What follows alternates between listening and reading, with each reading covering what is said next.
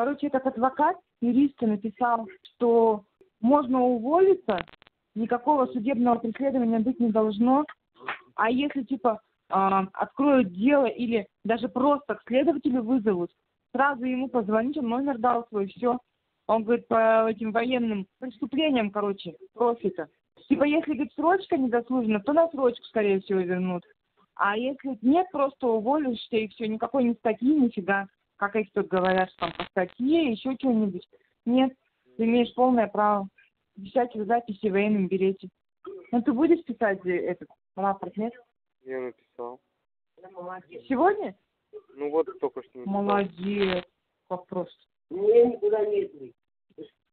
Если примешь решение, это, увольняться, отказываться, принимай. Каждый человек имеет право на жизнь и на здоровье. Ну главное, Антоха, выжить. Главное выжить. У тебя одна цель. Погибнет столько молодежи. То есть США и Украина ставят. США 21 тысяча российских погибло. Украина ставит 24, а наши 1200.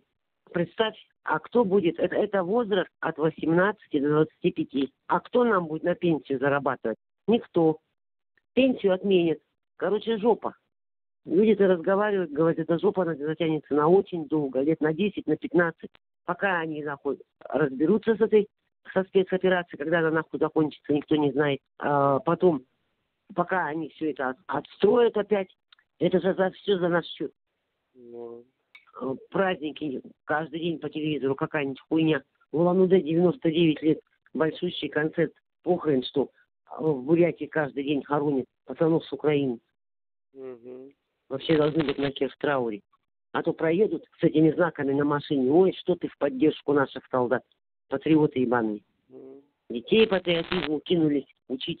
По телевизору эти все передачи политические, ты знаешь, на всех каналах. Какую-то хуйню порют, порют, порют, рассказывают. Столько народу, а правды нисколько нет.